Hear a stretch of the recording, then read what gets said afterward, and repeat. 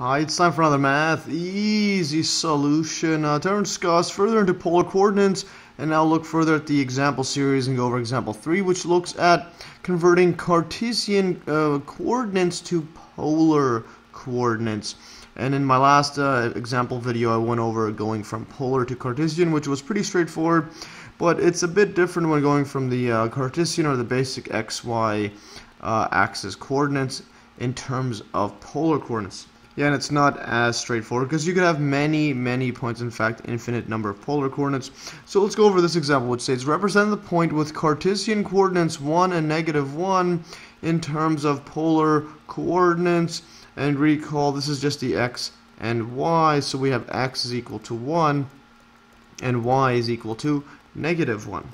So what we end up having is yeah, is basically if you were to graph this on an xy axis like this, let's go x, y, so the point is you go right here, let's say 1 is here, that's x is 1, and then negative 1 is, uh, let's just draw this further down, like this, say this is negative 1, and it's the point here. So we have this point here, I'm going to call this C for Cartesian, and that's going to be 1 and negative 1. Now when uh, converting into polar, this is a bit interesting. Well, we could draw a triangle like this, and then a right angle triangle from there to there, where uh, this triangle, this has a, call this R uh, like that, that's just the hypotenuse R, and then distance here, this is just our negative 1, and here is just our 1, this is the right angle. So what we have is that's our R, and we want to get R theta, where the angle when if it's positive it goes like this. We'll call this uh, theta 1 right theta 1 like this. Or we could also go like theta 2 like this where we call the convention. If you go clockwise I mean counterclockwise is positive. Counter I mean regular clockwise is negative. So counterclockwise positive. Clockwise is negative by um, the convention that I'm going over. And yeah this this distance is 1 this is negative 1 like that and now for completeness sake, what we could also do here, because this R, if this is R if it's positive, but if we had R as negative, what we can actually have is a line like this, and then where this angle across, I'll call this theta 3, and then what we would do is go backwards to a negative point here. So we could work all the way backwards like this, etc., going all the way to here, so where this full distance is r, where it's less than 0. So r is negative, and in black we have r is greater than 0 if we're just using this theta 1 or theta 2. And likewise we could also have we could also have a theta 4 going from here all the way around theta four. So as you can see, there's we can have unlimited uh, types, and you can even add uh, 360 degrees or 2 pi to it and loop it around and around. So you can have unlimited uh, numbers or unlimited ways to represent uh, these simple Cartesian coordinates, but in polar you have unlimited ways of writing. So let's look at this triangle first. So recall Pythagoras theorem and also uh, from my earlier video I went over um, the connection from Cartesian and polar and went over how to do that uh, systematically. So what we have here, uh, Pythagorean theorem, we have in our case r squared is equal to, so negative 1 squared and then plus 1 squared, the side squared, add up to hypotenuse squared. This equals, so that's just 1 plus 1, that's just 2. So then what we have is r is equal to, well, square root uh, plus or minus 2. Yeah, no, so plus or minus square root 2 like that. So when, what we have here is, yeah, r squared is equal to 2. Square root both sides. What we end up having is, yeah, this part here. So square root plus or minus square root 2. So this is what we get. So we get r is equal to plus or minus square root 2, and there you go. That's why I had the in red. It could be negative, it could be positive, and it's square root 2 like that. Now the choice of r will also change what our theta will be, and likewise the choice of theta also changes the choice of r. So what we also have is we could use by definition the tangent here, um, uh, the tangent uh, trigonomic function. Yeah, so recall, recall. I'm just going extremely in depth just to show you uh, the infinite number of ways you could do this. So recall tan theta. This equals to opposite over adjacent, but in a general one, it's just y over x, or the, the opposite side over the adjacent, so y over x. This just equals to, by definition, y over x. And in our case, equals to y is negative 1, and then x is 1. So this equals to negative 1. Yeah, so since it equals to negative 1, this, uh, recall again the graph of sine, I mean of tangent, looks something like this. If I, if I graph theta, we can have multiple values. Uh, y, let's just write tan theta like this. So tan theta, remember how the graph looks something like, it goes up like this, asymptote line across, and I'll draw this downwards more. This is at negative pi over 2 or 90 degrees. This is at pi over 2 and then likewise we get another one going up like this and going down and then we also go up on this side as well. We need some space here. Draw this like this and like that and then this is so it goes uh, pi over 2 each one. This is going to be pi over 2 plus pi, that's just pi. And then here's going to be pi over 2 plus pi, that's 3 pi over 2. And then finally, the full rotation is over here. This is just to get to the 2 pi. So add another pi over 2. That's 4 pi over 2 or 2 pi, etc. So what that means is at this negative 1 value, so let's say negative 1 is over here, well, we get two points. We get 1 and 2. And notice how these are from 0 to pi over 2.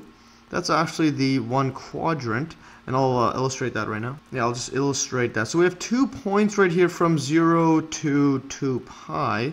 So we have 1 or 2, and if we look at the quadrants, let's say we have this angle is 0, or let's say this is initially 0. Now what we have is, yeah, is pi over 2.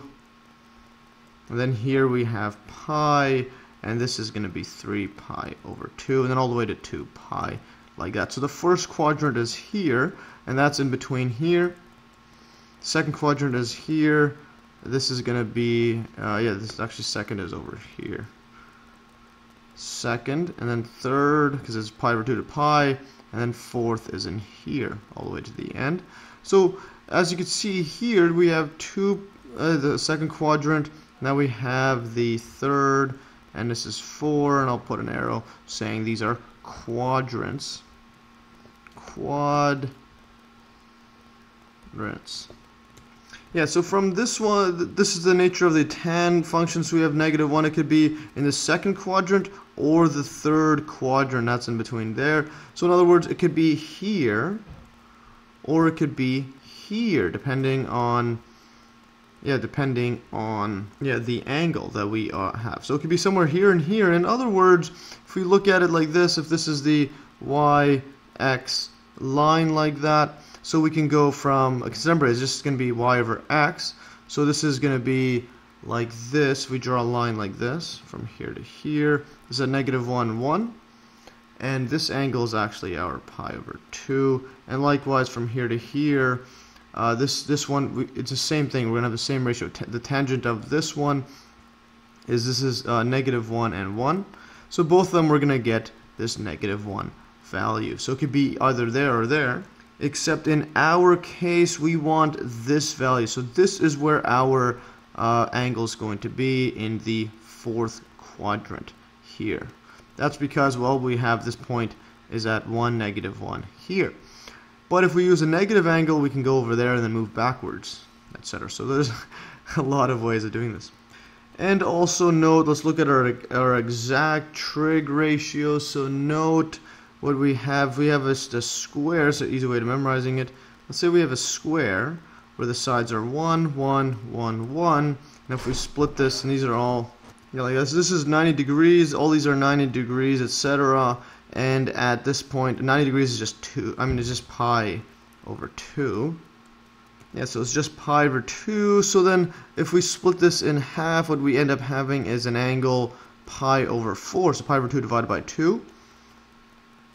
So this is pi over 4. So now what we have like this, the tan of this angle, tan pi over 4 is just, yeah, this just equals 2, well 1. Yeah, 1 over 1. It's just 1. Like that. Goes 1. Yeah, since uh, tan is, all it is is just a ratio, so what we have now is, well, tan of absolute value of the angle theta over 2. Yeah, this is just, well, yeah, the same thing 1 over 1 here. Yeah, so uh, better written is actually here. This just equals to our angle theta over 2, the absolute value of it, which is over here. But the only thing is negative like that, but the ratios are the exact same, 1 over 1, etc. So thus, yeah, so thus what we have is, well, our theta over 2 is equal to negative pi over 4, because that's just the absolute value of it, and again, clockwise is negative, and counterclockwise is positive.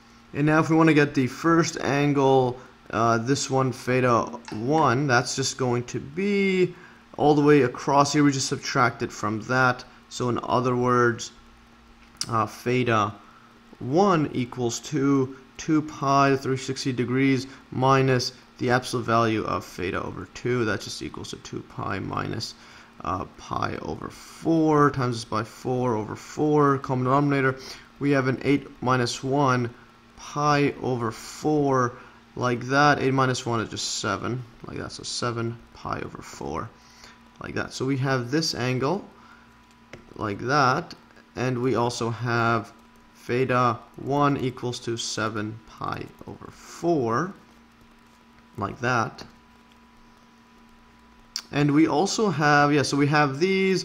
We also have r yeah r is equal to well plus or minus square root 2 so either one of those. And for completeness let's uh, let's find out what these angles were. This uh, theta 3 and theta 4. But remember, the ratio is always going to be the same, which is this, if the absolute value of the inner one, or of this kind of angle, this right angle is always going to be the same thing, so pi over 4. So if we were to determine uh, the pi over 3's, well, that's going to be something like this. So this is, remember, this is our, uh, this is theta 2. So let's just look at the absolute value of this. This equals to pi over 4. So then this absolute value is just by looking at it by symmetry, this is also going to be pi over 4 like that. So what that means is this angle there, this is going to be, if this is going to be, I'll just put 1, negative 1. This is going to be at negative 1, 1. So just exactly symmetric. This angle, theta 3, this equals 2. yeah, well, this equals to the full angle of pi up to here subtracted by pi over 4. So pi minus pi over 4. This just is, this just equals to 4 over 4 minus pi over 4. That equals to, well, 3 pi over 4. Like that.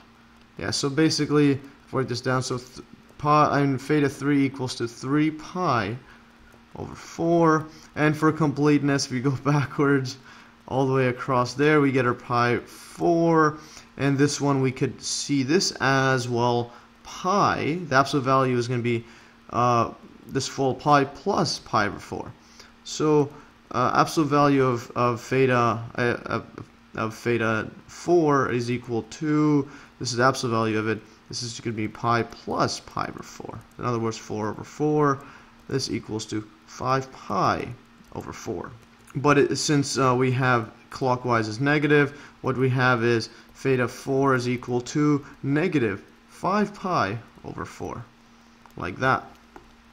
So now we have to just connect all them together. So in other words, if we go all the way back here, if r is negative, then we're dealing with this, so we have theta 3 or 4.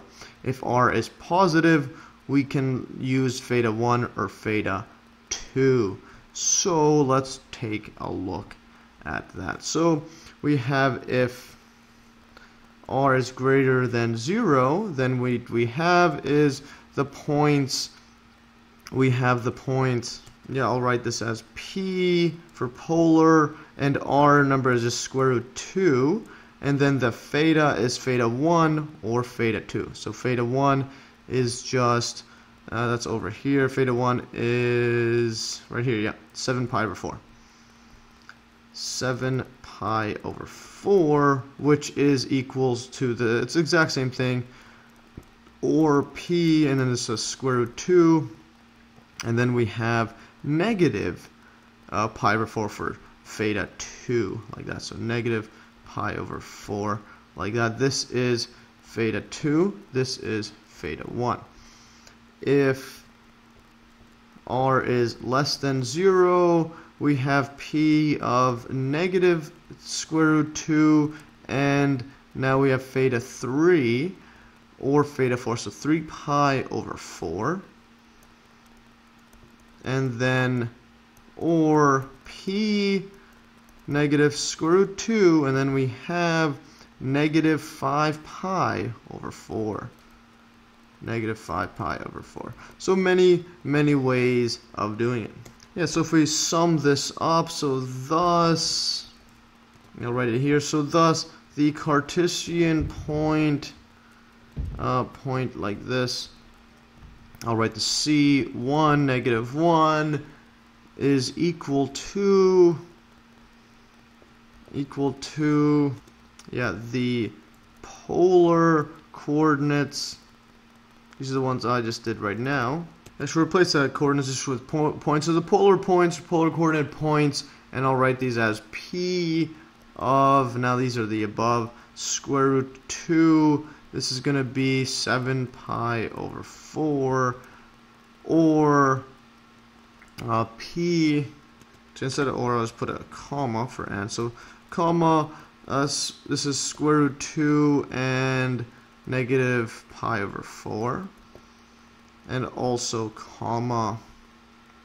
Now we have this negative one. So yeah, as you can see it's just uh, with polar you can have unlimited types and then you have this there 3 pi over 4 and and let's write yeah let's comma again p and square root 2 negative 5 pi over 4 etc and infinitely more. Infinite. Or just infinite many more. Like that. Because you could just add a 2 pi 360 degrees and loop it around multiple times. You can go back and forth around it like that and get to the same angle like I've done in my earlier videos on the uh, connection between polar and Cartesian. So check those out. So, so now just another note again as I went over here. So the equations tan theta and r squared equals x squared plus y squared does not uniquely determine theta when x and y are given because as theta increases through the interval from 0 to 2 pi or 0 to 360 degrees, this is in radians, each value of tan theta occurs twice. Therefore, in converting from Cartesian to polar coordinates, it's not good enough to just find r and theta that satisfy tan theta and r squared equals x squared plus y squared. And as in this example, we must choose theta and r because it could be positive or negative so that the point r theta lies in the correct quadrant etc. as I've just done there. So anyways, this is a pretty in-depth example on this, uh, and I just want to illustrate just how how um, deep that it, this goes, converting Cartesian to polar, just how advanced you can make it. But you could obviously just quickly use a exact trig ratio and find this angle, etc. And then put a negative sign for the convention and you're good to go. But I just wanted to show that you could do much more and see how there's just many many different ways of, of solving the same uh, example. Anyways that's all for today. If you learn like always you can download these exact notes in the link below. Thanks for watching and stay tuned for another math easy solution